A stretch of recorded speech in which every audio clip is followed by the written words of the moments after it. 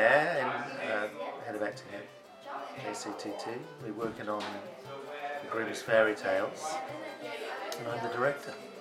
What I set out to do was create a, an open process so that we could work together collaboratively as an ensemble, uh, work with found objects, work with the imagination, let the actors be creatives so they can invent and tell the stories their ways. It means the actors have to work a lot in the ah. conventional sense because they, they're creating from the, from the ground up. No one is afraid to try something, and no one is afraid to contribute something because no idea is a dumb idea.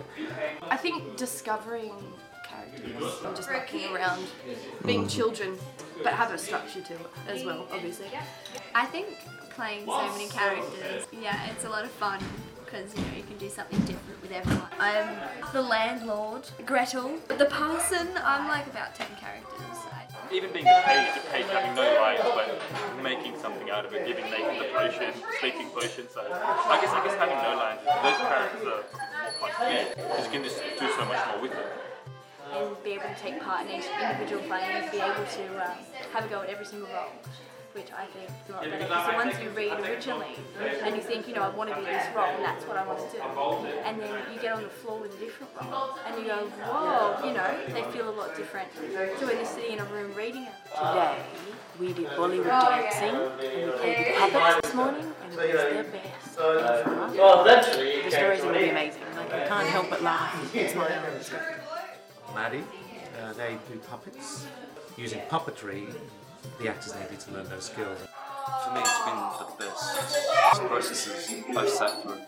It's all about image, and to make that part of yourself an extension of the actor, it's going to be amazing.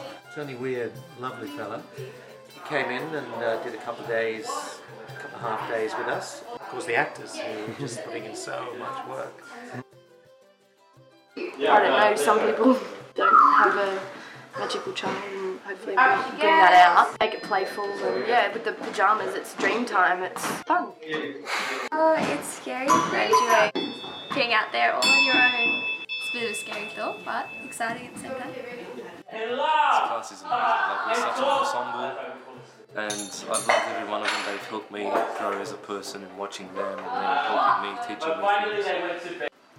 I wouldn't be the same person I am without these guys, the person I am now, and how much I've grown. And the young man. And um, I love them for that.